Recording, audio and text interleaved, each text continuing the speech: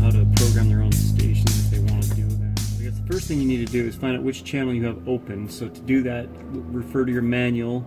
But our last channel is 143, so I know that anything above 143, and you can see that because it jumps automatically 199.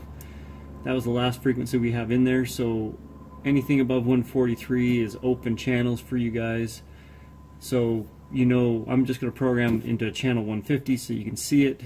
So the first thing you want to do again is go to uh, press the VM button, go to frequency mode, pull this open, plug in your hand mic so your hand mic lights up. And I'm just going to program in just for ease here. I'm just going to go one six five five two zero. Okay and now it's not programmed in yet but I've just hand typed a frequency in here so for me to program this I'm gonna hit the menu button so I hit the menu it brings up the menu and then I'm going to go to menu 44. So if you look off to this right hand side, there's a 44 there and it says memory channel.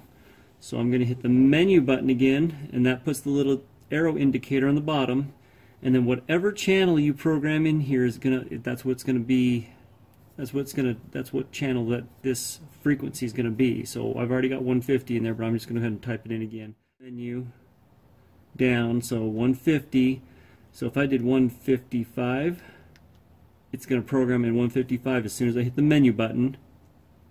Now it's programmed in 155. And I can hit exit, and I can confirm that by going back to memory mode. Now if I turn this indicator, if you remember if I turned it once it went to 199 but now 155 is my next channel so it's going to, boom, it's, it's in there.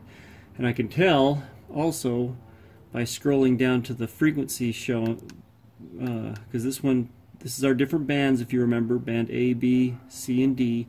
A and B we've just got displaying the channel.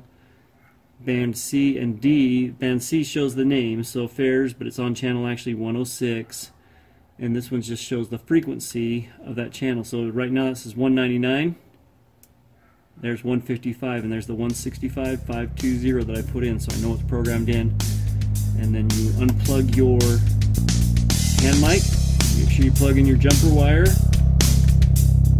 and you're good to go.